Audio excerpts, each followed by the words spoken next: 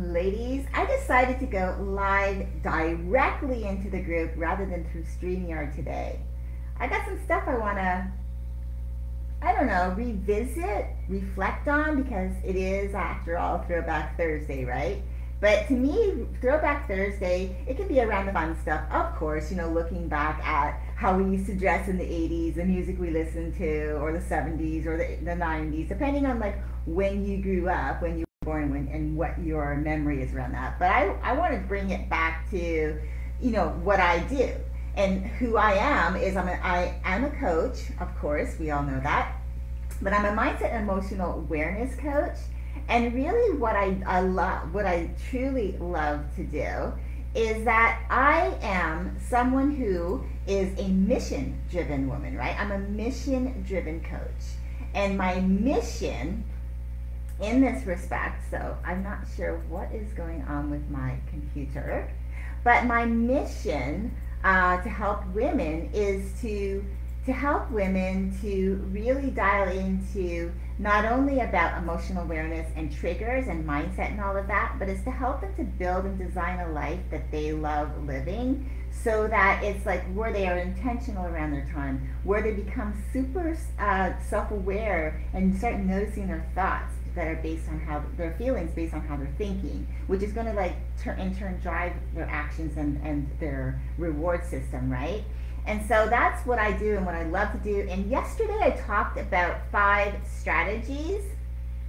I, I talked about five self-care strategies to let me just go to for your overall emotional well-being. They were connection, health, uh, the DIY as a strategy, quitting that, uh, your VIP list, and anchor celebration moments. And today I want to lean into the DIY as a strategy. That's something I want to reflect back on because I used to be that girl. So I want to give you a little bit of background on that. So my whole life, pretty much my whole entire uh, working career, I've been working in law. I've been working as a, an, a legal assistant and then transitioned into being a paralegal in the field of law. And more particularly, I was working in the corporate side of things. So I wasn't really, I wasn't a litigation assistant or paralegal. I didn't get into the specific others where there was more of a, a more of a what I could say uh, really niched down like what I do niched down, but that was their specific skill set. But rather in the corporate world meant I could really kind of put put my finger on where in different areas of corporate and what that looks like. And it's a broader topic than it is with these narrower niches. So yes, there are niches within companies. And so over my tenure as, as a legal assistant paralegal, I became really super skilled at what I do. Um, and I started adopting a mindset as a do it myself as, as the only strategy because only I could really get get shit done the right way, or I should say, my way. And I felt it was really hard for me, and I started realizing that this mindset I was le- leaning into was I truly believe that it would take way too much of, of my valuable time to have to sit someone down to explain to them how to do something so that I could give that task to them rather than just doing it myself, which, which I felt was going to be quicker because I already knew what I needed to do and how to do it. But instead, I didn't get rid of that task, right? So I had a multitude of things to do. And instead of taking that five to 10, maybe 15 minutes of my time to explain something to someone that they could do that might take them maybe half hour, an hour to do once they got the logistics of it, um, and that would have taken that off my plate. It would have freed me up to do more other things that needed to get done that were important. But instead, I adopted that do it myself or the do it yourself as the only strategy for getting anything done, meaning I thought I had to do it all. I thought I was the only one that could do it. I adopted that. And I wouldn't ask for help. Or if someone offered it, I, again, as I was saying, felt like it would be too much time, to take up too much time, be too time consuming to, um, to really like explain something that would take really time time away from me doing doing something, but also on the flip side would really actually benefit me if I could give that to someone else. So if you can feel me, uh, I'd love it if you're watching this live or if you're watching it back to like comment and just let me know if you get that, if you've actually felt that, because I know it's real. It's nothing to be sh- ashamed of, but that do it yourself as the only strategy that you adopt in your life can actually do more harm to you, especially if you're if you are entrepreneurial mindset, mind, and you have that desire to start something new, or you're in the middle of actually creating and building something for yourself, that if you are adopting the the mindset that oh no only I can do it and I don't have time to explain what that end again uh, is that bringing you down that road to actually um, you know self sabotaging yourself in what you're trying to do and so I wanted to lean into that more today because well yesterday I also left you with the fact that I, I gave you some tips around self-care but information is just information, right? Until you implement it, and that's when it becomes action, right? And when you take action, that's when something can enhance your overall well being. And I also said that if you watched it, that some of you are going to take the information and you're going to actually put it into action. And some of you aren't going to do that, and some of you wouldn't do that. And that could all come down to a mindset of, I don't have enough time, like I was just talking about. Oh, I don't have enough time. I have a family. I have kids. I have a significant other. I have my business or the job that I have to go to. I don't have enough time in the day. I can't, I don't even have time for myself. But really, that's just not managing your time where instead your time is managing you. Because we all equally, and everyone in the world, including the most successful of entrepreneurs in the world, they all have the same 24 hours as we do. So what's their secret? There's really no secret. They don't have a magic pill secret that none of us can tap into. The secret is they just realized that they need to become super specific and really intentional around managing their time. And they found a way to do that. And they went through specific processes of figuring out well what am, what are the things that I'm doing that I could actually give to someone else? Remember instead of doing it all themselves they realized they had to hire a team. What can you do to help me? What can I what can I offload to someone else who's going to be equally capable of doing it? Doesn't mean I can't but this will free me up right? So again we all have the same 24 hours but it's how we manage that time. And the, those of us who decide that we need to do it all ourselves, that's when we're the people, the ones who are complaining, saying we don't have enough time, because that's where we feel we're at a loss, because we're trying to do everything ourselves, because we feel, we think we have to do everything ourselves. So like I was trying to tell you this because this was a mindset I had adopted for almost my entire tenure of working in that industry, feeling like I couldn't offload information there were times I had two, a couple of times during that process that I had my own assistant in, within that work dynamic, and that wasn't because I asked for one or I chose and I wanted one. It was because it was given to me as part of my position in the in the firm. And we worked well together, the two assistants that I had worked with. However, going forward into my life, I still, once I got past that and had no more assistance, and I still had to learn how do I do this. And I realized the only way to do it was to do it myself. Because I didn't, I felt like I just didn't have enough time. And time, and really, time, as I had said yesterday, time really is, if you want more time for yourself, to, to get more done, to have, so that you have that time for your for you to do to have time for yourself, to have time for your family and friends, you know, to get more done in your life, all areas of your life.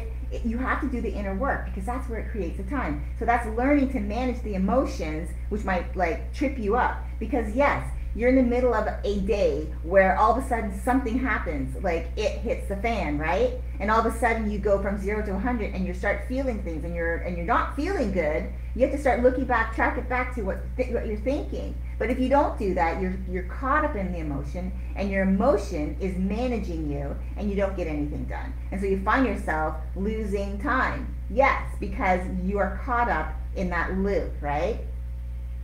So why am I talking about this? Well, as I said, yesterday I gave you some, some tips on self-care. And I truly believe that self-care is so important. It's actually the foundational piece to my newest program, where it's a six-month a six-month container, and it's really about building those building blocks that are really going to, you know, support you and keep you um, grounded and focused and intentional and using your time well so that you and having those those connections where when you are all in for your family and your friends and you're not feeling resentful thinking you have to work. And it's having that time freedom where you can actually go all in for your work and you don't feel guilty that you're not spending time with the people that you that you care about most and, or not having time for yourself you know and there's all of these foundational pieces and it does begin with mindset because mindset is key to everything. You talk to anybody out in the industry they are always going to lead back to mindset because what you believe is what's going to influence how you think and feel.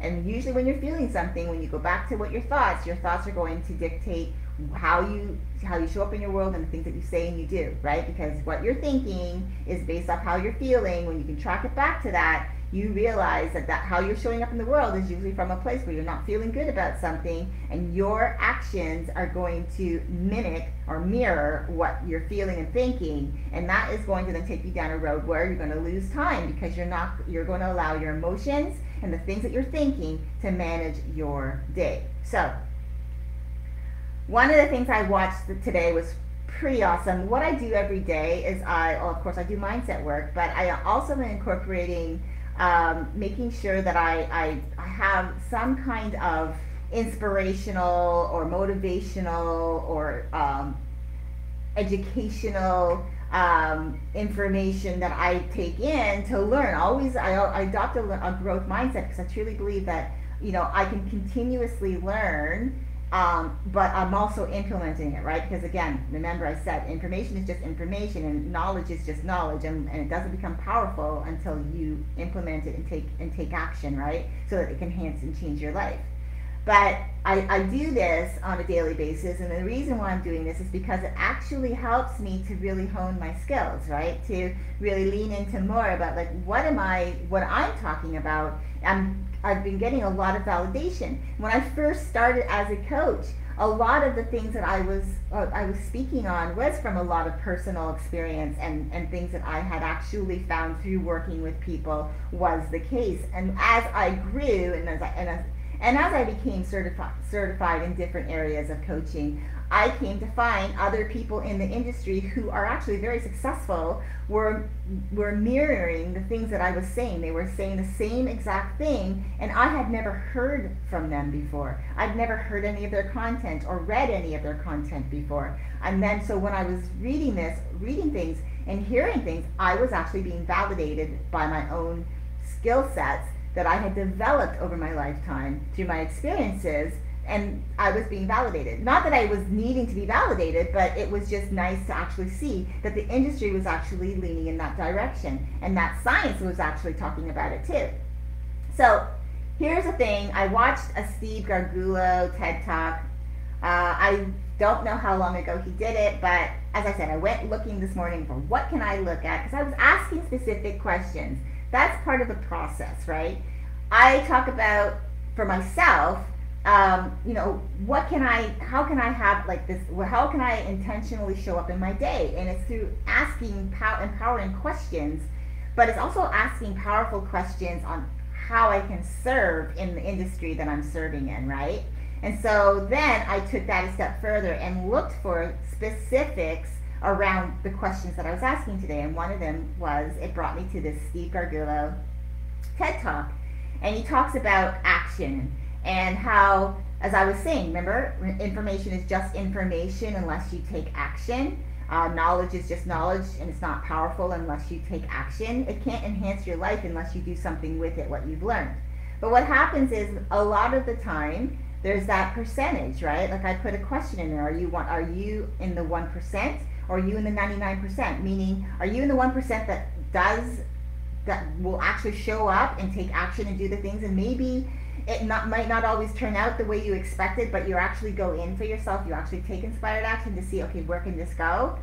Or are you in that 99% that keeps yourself out of it? Now, there's a whole other formula that I, I also go into in my programs that I work with people, but uh, and other trainings that I've done. But it really comes down to emotional intelligence in that too, right? That the learned helplessness uh, as well will actually stop people from taking action, meaning people sometimes will not take action based on things that they've learned through when they have taken action and the hard lessons. You know, you hear people saying, I, I learned something the hard way.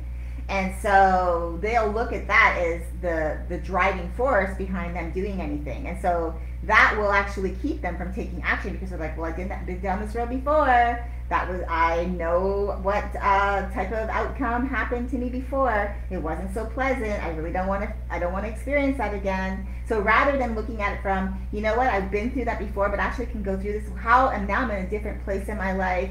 I've grown as a person. Uh, I'm optimistic. Let me take let me take a look at this again. Let me see if taking this avenue, doing this inspired action, you know, taking inspired action around this particular thing might actually help me.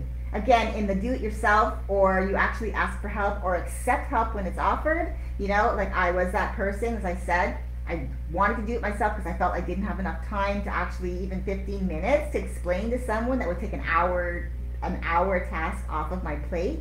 I mean, can you believe that?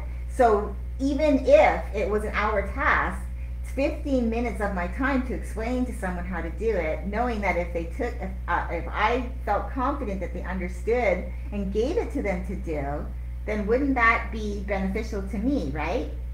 So it's learning how to, uh, can you relate? Because I, I, I just want to know if you're hearing me on this, because sometimes we can hear something and we're, we're not really thinking about, oh, yeah, actually I can relate to that. So I want you to think about, you know, you know, experiences in your life you know something in your life that maybe you are that do-it-yourself person and maybe there are instances in your life where you've had something you're thinking oh i really wish i could pass this off to someone. And maybe there is someone in your life that's saying hey i noticed that you are you know doing xyz uh, or abc can i help you with with a? You know like can i help you with part of that?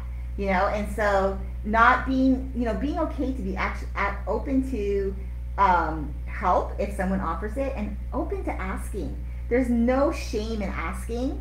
Uh, it doesn't mean that you're not capable. It just means that you want you value your time and you value that if I can give someone this information because I know exactly what needs to di- be done and they get it, then that saves me valuable time that I can do other things. So I just want you to think about that. So Steve, getting back to Steve Garguilo, his um, his TED talk. So I will post that in the link as well after I'm finished. So his talk is called The Science of Taking Action. And his first, he had, he had three points and he ended with a, a fourth, which I kind of decided would become number four. But he said action is a muscle, right? The more you practice becomes a muscle memory and you don't have to think about it. Again, that's so true. So the more you start doing things and get yourself in the doing of taking action on something instead of waiting and deciding maybe later, and we're going to get to that next, um, the more you do something, the more you actually put yourself out there, the more it becomes practice, becomes becomes a muscle memory that you're not, oh, I gotta do, like I am in the doing. For example, my morning routine, I do without fail, 365 days a year. So there's not a day that, or 366 if it's a leap year.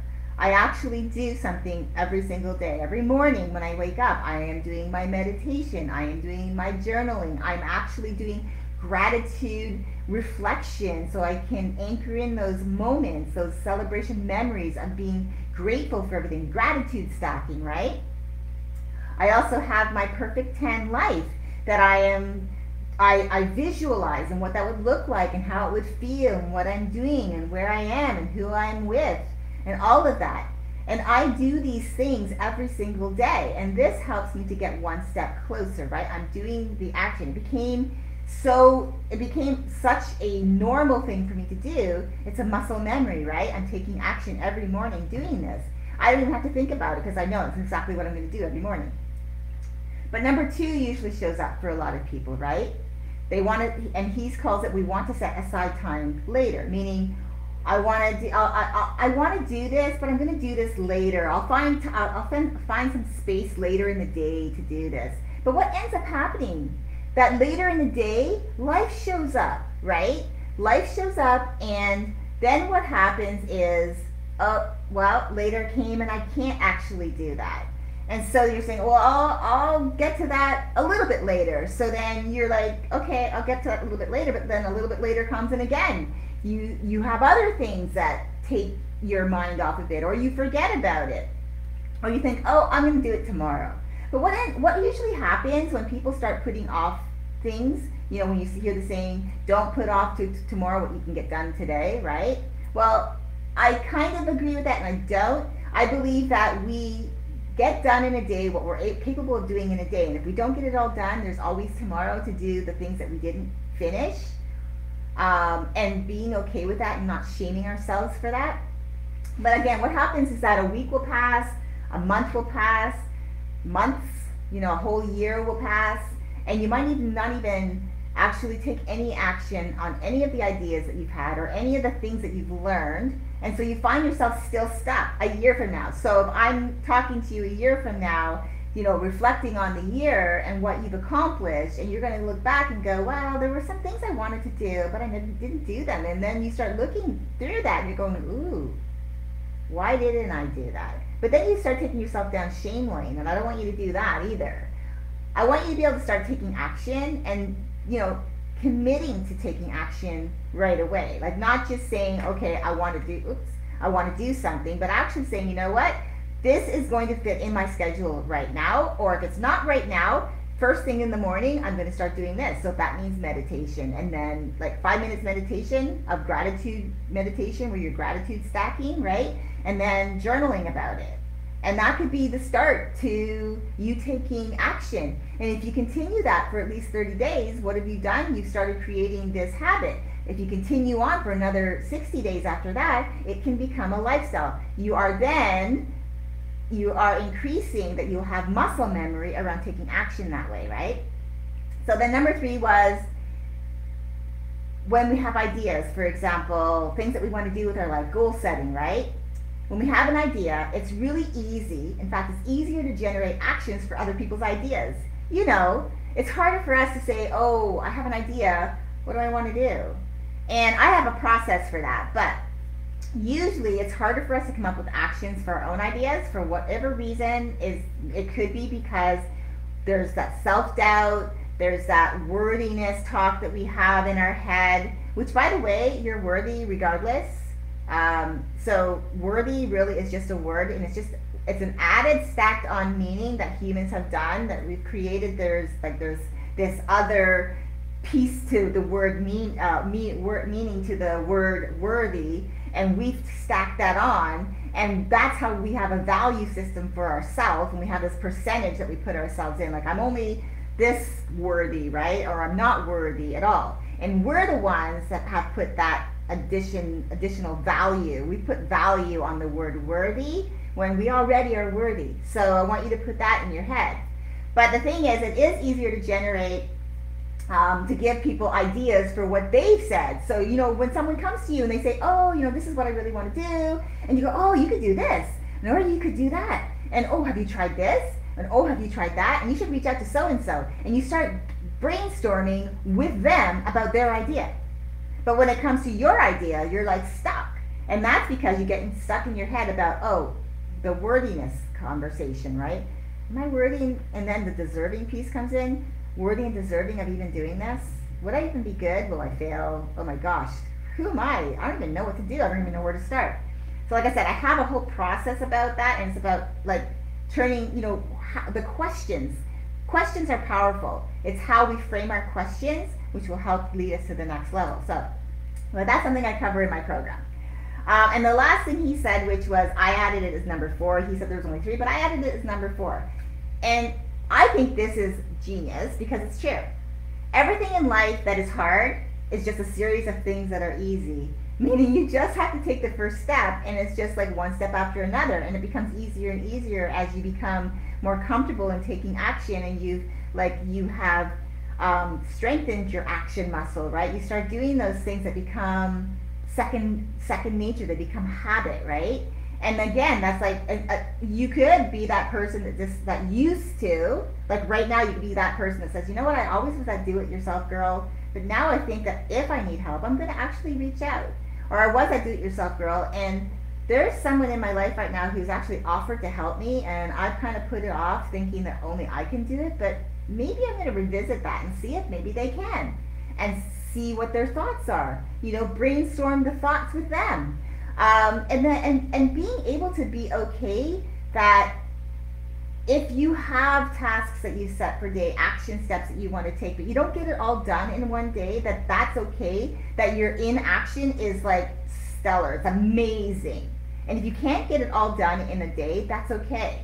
Time is time is like everyone has the same amount of time. Time is not the most important thing. It's actually how you use your time.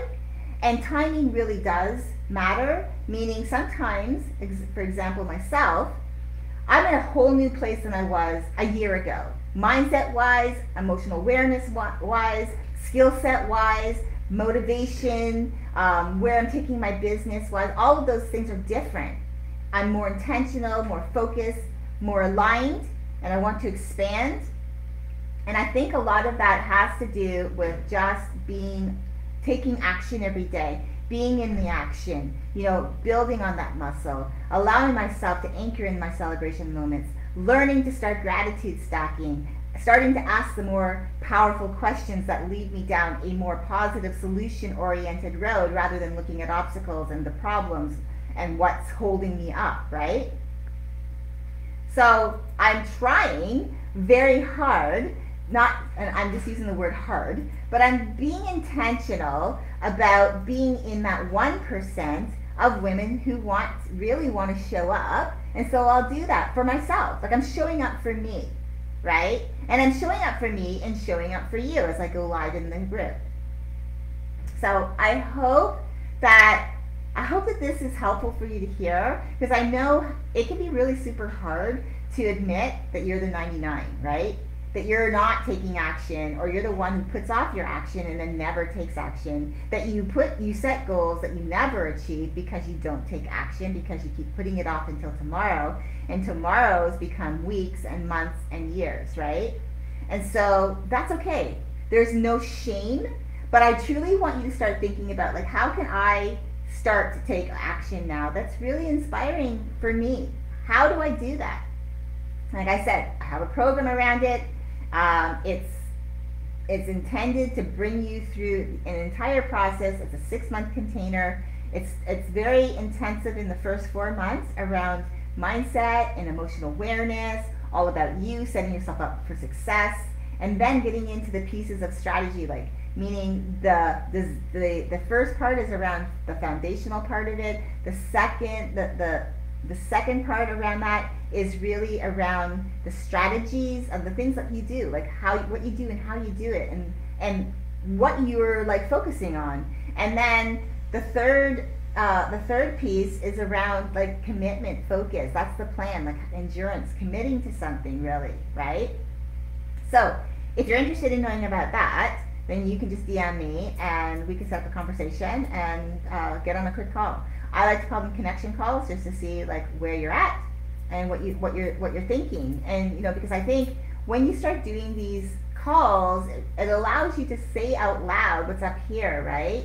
Um, you know, because sometimes we think that oh, we're in our head, you know, and we and we think oh, I I don't know if that if that's a dumb question, and it's like no question is a stupid question in my eyes in my opinion, because if you're thinking it it's bothering you. You need to get off your chest. So, DM me if you'd like to have a, excuse me, if you'd like to have a call, and we can um, we can see where you're at. Definitely, you just never know. It might be that this is what you need, right? Just to have that connection conversation. It might be that this is where I'm going to pop the link in now. So I'm just popping in the link, the science of take, taking action um, let me just quickly do this again because I don't like how that went. And okay, so I'm popping that in now. Check it out. It's a real, it's a short video, um, but it's it's it powerful enough in the words.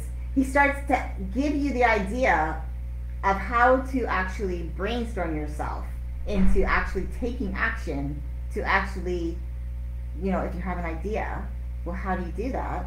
Well, it's easy. It really is super easy. Anyhow, I digress. I hope you guys are having a great day. Remember to navigate your day with an attitude of gratitude because with the right attitude, it will give you the right mindset for when life throws her curveballs or puts up those roadblocks. You'll be in a better place to manage your emotional trigger moments. I'm excited uh, to hear from you what you thought about this. Uh, definitely drop me a DM if you want to set up a call and we can do that. And also comment below. Are you to do it yourself? Are you are you willing? Are you ready to ask for help from other people, or someone's offering you help, or are you want to, are, are you ready to ask for help? Right? And uh, definitely, I I would love to hear what you have to say about the videos. I think it's very cool. All right, guys. I hope that you have a great rest of your day, and I will see you guys tomorrow night at uh, so tomorrow afternoon for those on the West Coast, 3 p.m. Pacific. And for those of you on the East Coast, 6 p.m., and I'm going to do the mindset training. We're going to go a little bit deeper, okay? So have a great day, and I'll see you again soon. Bye, guys.